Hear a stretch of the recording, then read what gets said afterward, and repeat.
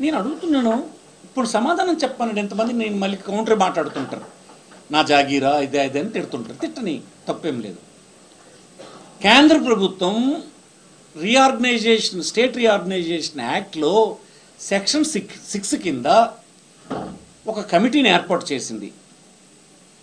ఆ చట్టమే కదా మన రాష్ట్రాన్ని విడి రెండు ముక్కలు చేసింది. కొత్త రాజధానికి ఆ చట్టమే ఒక కమిటీని సూచించింది. ఆ కమిటీ సిఫార్సుల్ని చేయమంది. కమిటీ సిఫార్సులు మీకు ఇచ్చింది. కమిటీ సిఫార్సుల్లో విశాఖపట్నం వాళ్ళు సూచించారు కదా. ఎగ్జిక్యూటివ్ క్యాపిటల్ ఇక్కడ పెట్టుకోండి అని చెప్పి సూచించింది. మరి మీరు మీ క్యాబినెట్లో ఉండే సహచరుల్ని మీ పార్టీలో ఉన్న ఎంపీలతోటి కమిటీ వేయొచ్చు దానికి? దీనికి సమాధానం చంద్రబాబు గారు ఎందుకు చెప్పడం లేదు? ఇన్నిసార్లు నేను ఒక సీనియర్ మినిస్టర్గా అడుగుతుంటే చెప్పమనండి. ఏ కారణం చేత మీరు వేశారు? రాజ్యాంగబద్ధంగా ఏర్పాటైన సెక్షన్ సిక్స్ ప్రకారం వచ్చినటువంటి కమిటీ ఇచ్చినటువంటి నివేదికను ప్యారలల్గా ఇంకో కమిటీని వేసి ఆ కమిటీ ఎవరు పోని? నీ పార్టీ వాళ్ళు కదా. నీకు వ్యతిరేకంగా నీ అభిప్రాయాలకి భిన్నంగా ఒక రిపోర్ట్ రాయగలరు. వాళ్ళు చిన్నవాళ్ళని నేను అన్నాను వాళ్ళని కించపరిచే మాట కూడా అన్నాను నిష్పక్షపాతంగా ఉండే అవకాశం లేని వాళ్ళు కదా వాళ్ళు. అంటే అప్పటికే మీరు డ్రాఫ్ట్ తయారు చేశారు.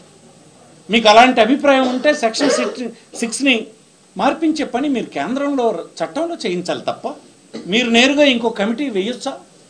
వేశారంటే ఆ మీరు పొల్యూట్ అయిపోయినారు. మళ్ళీ ఇది గ్రాప్ చేయాలన్నటువంటి అభిప్రాయానికి వచ్చారు. అందుకే నేను చెప్తున్నాను. క్యాపిటల్ అనేది ఎప్పుడైనా ఎలా ఉండాలి అంటే ఇప్పుడు మహానగరాలుగా పెరిగినటువంటి క్యాపిటల్స్ మీరు చూస్తే అక్కడ చెన్నై కానీ ఇక్కడ కలకత్తా కానీ ఇక్కడ హైదరాబాద్ కానీ ఇంకొక పట్టణం బెంగళూరు కానీ అవి ఎలా ఉంటాయంటే కాస్మోపాలిటన్ అట్మాస్ఫియర్తో ఉంటాయి. దేశంలో అన్ని ప్రాంతాల వాళ్ళు ఆ రాష్ట్రంలో అన్ని ప్రాంతాల వారు హాయిగా స్వేచ్ఛగా నివసించగలిసినటువంటి ఎన్విరాన్మెంట్ ఉండాలి. అది విశాఖపట్నంకు మాత్రమే ఉంది మన మిగిలి ఉన్నటువంటి రాష్ట్రంలో. ఇంకో ప్రాంతం లేదు మిగతా వాళ్ళకి యాక్సెప్టబుల్ కాదు అది. ఎందుకంటే ఇక్కడ అన్ని మతాలు ఉంటాయి.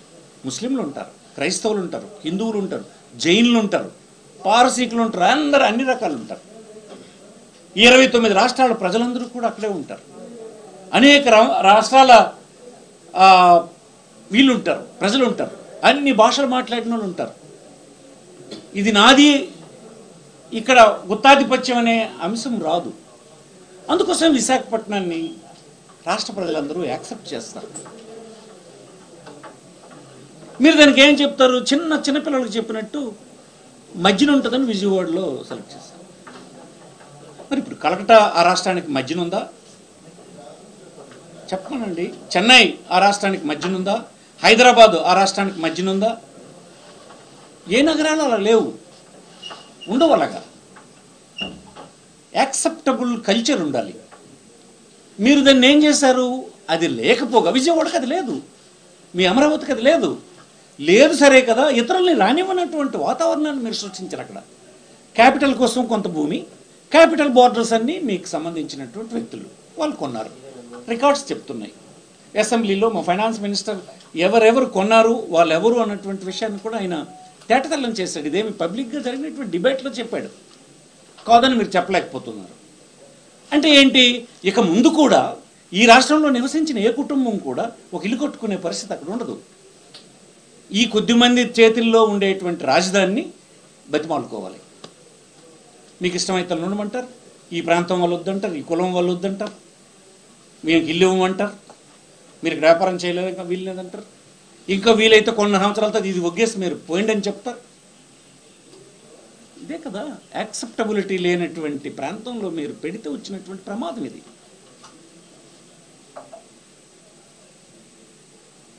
ఇది హైదరాబాద్కి లేదు చెన్నైకి లేదు చెన్నై ఏ నగరాలకి అది ఉండదు. మరి కొత్త నగరం? ఈ ఈ రెండు వేల ఇరవై రెండులో మీరు అలాంటి వాతావరణం ఉండే ఒక నగరాన్ని తేవాలని ఇతరులకు ఎవరికి చోటు లేనటువంటి నగరాన్ని తేవాలని మీరు చేస్తున్నటువంటి ప్రయత్నాన్ని ఎలాగ హర్షించగలం? తెలిసినటువంటి ఎవడైనా హర్షించగలడు? అందుకే ఈ ప్రభుత్వం మా ప్రభుత్వం ఇచ్చిన దాంట్లో ఏమి లేకుండా ఏం చేయలేదు. అక్కడ లెజిస్లేటివ్ క్యాపిటల్ని సజెస్ట్ చేస్తాం ఈ లెజిస్లేటివ్ క్యాపిటల్ అక్కడ ఉండాలని ఎగ్జిక్యూటివ్ క్యాపిటల్ విశాఖపట్నం ఉండాలని కోర్టు మన జుడిషియల్ క్యాపిటల్ అంతా కర్నూలులో ఉండాలని ఈ అది కాదు అది. శ్రీబాగ్ ఒప్పందంలో ఉన్నటువంటిదే కర్నూలు. ఈ రాజధాని గడిగడికి కొంతమంది చెప్తుంటారు. అలాగా గడిగడికి మార్చడానికి వీలేదు గడిగడికి మారలేదా మన దగ్గర? చెన్నై నుంచి మనం కర్నూలుకి రాలేదా? కర్నూలు నుంచి మనం హైదరాబాద్ వెళ్ళలేదా? హైదరాబాద్ నుంచి అమరావతికి రాలేదా? అమరావతి నుంచి విశాఖపట్నంకి వస్తాం. అది అది అలాంటి కబుర్లు చెప్పి మళ్ళీ మా మా దీంతో మా కళ్ళు పుడిచే పని చేయకండి దయచేసి. కరెక్ట్ కాదు ఎందుకు మీకు ఏమిటి విశాఖపట్నం అబ్జెక్షన్ చెప్పండి మీరు చెప్పండి కాకపోతే. అమరావతి కావాలని అడిగారు. పోనీ అర్థం ఉంది. విశాఖపట్నం వద్దని మా ప్రాంతంకి వచ్చి చెప్తారా మీరు? తెలుగుదేశం వాళ్ళు. విశాఖపట్నం వద్దు అని చెప్తే చెప్పండి చంద్రబాబు గారు మీరు చెప్పండి అలా వద్దని. ఇక్కడ సెంటిమెంట్ లేదని మీరు చెప్తారు లేదా? మీరు అమరావతి పెట్టారు సెంటిమెంట్ ఉందా? మీ అబ్బాయి అక్కడ పోటీ చేయించారు. నేనేం తక్కువ చేయను మీ అబ్బాయిని. మీరు అమరావతినే క్యాపిటల్ చేసి అక్కడ బ్రహ్మాండంగా మీరు అభివృద్ధి చేసి మహానగరాన్ని నిర్మిస్తామని చెప్పారు కదా? మీ అబ్బాయి అక్కడ గెలిచాడా? అందుకోసం అలాంటివన్నీ చెప్పకండి. యాక్సెప్టెన్స్ ఉందా లేదా అని. మన రాజ్యాంగం ఏం చెప్తుంది? మన ప్రీవియస్ ఎక్స్పీరియన్సెస్ ఏంటి? హైదరాబాద్లో జరిగినటువంటి ఇదేంటి మన రాజ్యాంగ నిర్మాతలు చెప్తున్నటువంటి సందేశం ఏంటి? ఈ ప్రాంతాల తాలూకు ఆవేదనని ఆ గుండె ఘోషని ఎలా చల్లార్చాలి అనేది చూడాలి కానీ ఇది జగన్మోహన్ రెడ్డి చేస్తే జగన్మోహన్ రెడ్డిని టార్గెట్ చేస్తారు. ఆయన ప్రభుత్వాన్ని టార్గెట్ చేస్తారు. రోజు రాతలు రాస్తుంటారు. మళ్ళీ మాట్లాడితే మమ్మల్ని నిందించే పని చేస్తారు. అప్పుడు ఒక మాట ఇప్పుడు ఒక మాట తాటి మాట అదా ఇదని అని అంటారు. ఏం మా ఆవేదన చెప్పుకునే అవకాశం కూడా లేదా? నార్త్ కోస్ట్లో అసలు అభివృద్ధి చేయలేదట వైఎస్ఆర్ పార్టీ. వైఎస్ఆర్ పార్టీ ఎప్పుడు వచ్చిందండి? ముఖ్యమంత్రి పాత ముఖ్యమంత్రి గారు నేను అడుగుతున్నాను. వైఎస్ఆర్ పార్టీ అధికారంలోకి వచ్చి మూడు సంవత్సరాలు అయింది. మీరు ఎప్పుడో పద్నాలుగు సంవత్సరాల క్రితం పంతొమ్మిది వందల తొంభై ఐదులో మీరు అయినారు.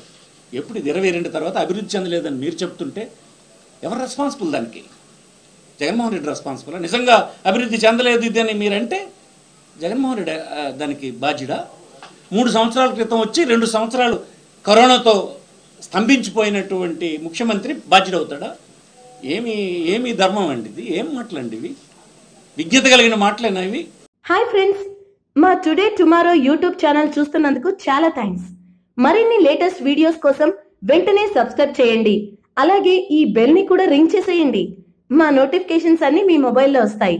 అలాగే మా వీడియోస్ మీకు నచ్చితే లైక్ చేయండి షేర్ చేయండి. నచ్చకపోతే కామెంట్ చేయండి.